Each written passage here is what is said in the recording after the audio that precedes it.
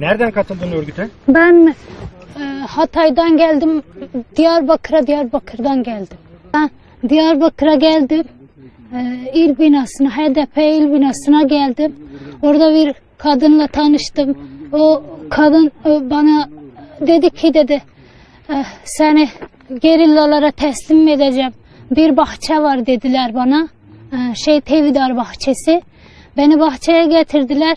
Orada gerillalar beni gördü.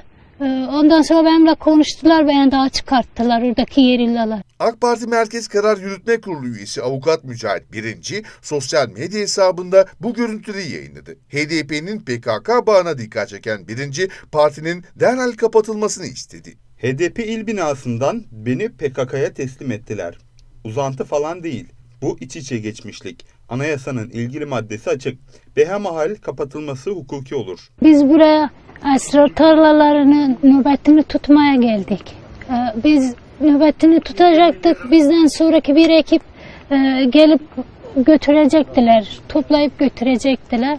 AK Parti Merkez Karar Yürütme Kurulu üyesi Mücahit Birici asker katletmiş, terör örgütüne terörist sağlamış bir partinin 2023 seçimlerindeki rolüne vurgu yaptı. Bir siyasi parti o ülkede 50 bin vatandaşı askeri katletmiş bir terör örgütüne terörist sağlıyor, delilli, belgeli. Ve siyaset bu partinin 2023 seçimlerindeki kilit rolünü konuşuyor. Fantastik bir gerilim filmi gibi.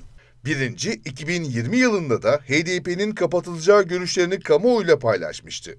Yeterli deliller vardır. Dünya demokrasilerinde tek örneği yoktur.